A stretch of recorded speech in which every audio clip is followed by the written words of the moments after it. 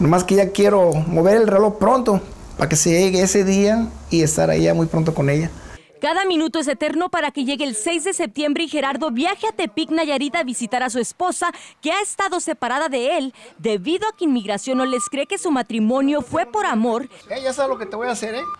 Le, le a la señorita que cuando nos vemos, corremos, nos abrazamos, nos besamos doy tu vueltecita y luego la gente se nos queda bien. La frontera los ha mantenido separados por más de un año y Gerardo todavía recuerda esa pregunta en inmigración que le costó la residencia a su amada chiquita, como él la llama. Me dijo que cuántas veces hacía relaciones y ahí fue cuando yo me sentí mal. Dije, pero esas son cosas personales. Le dije, eso yo no lo puedo decir porque pues, yo no vengo preparado para decirle esas cosas pero no pierden la esperanza de que Ana se convierta en residente de los Estados Unidos. Ahorita nomás están esperando una carta del consulado mexicano. Y ya tan pronto que llegue esa carta, el abogado dijo que iba, a poner el caso tal vez en la Corte Federal.